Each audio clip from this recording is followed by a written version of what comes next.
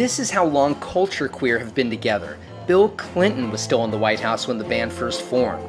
And while many Cincinnati bands have tasted major label and national touring success, Culture Queer have focused more on creativity than career. Video and onstage visuals play a large role in the act. We'll meet the band and find out what goes into what they call fruit pop on this rewind from Bunbury 2013.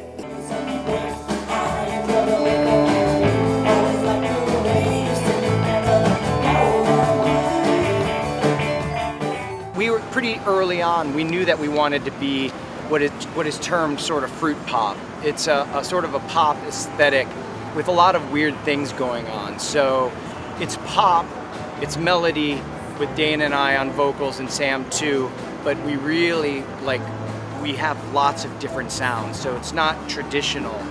When we started out, we sort of, we, we plowed a new playground in the sense that we would switch instruments and we embraced the fact that people weren't really uh, familiar with instruments sometimes and just let that, that newness inform the music. And we also brought the visual aspect now, which other bands are, are, are doing.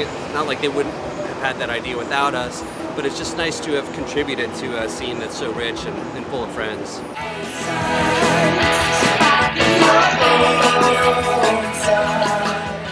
My background is video. Sam is in the you know in video production as well, so it's it's it's a fairly easy thing for us. And we all do our part, like as far as music, video production, video conceptualization, and when we started, we we aspired to be not just a bar band, so we've always had video projection at 99% of our shows. We've done a lot of uh, performance art kind of things too, where there's like uh, acting or strange dances that go with the video.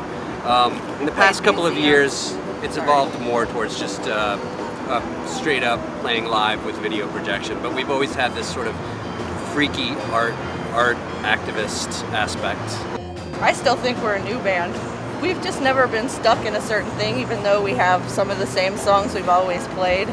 We've progressed and we've always done new video, and uh, it just feels fresh it's a relationship that's difficult, obviously, especially you know 14, through 14 years. But the reality of it is, is we all are friends. We're very good friends, and and we're very close. And you know, there's. I just want to play until you know it's over.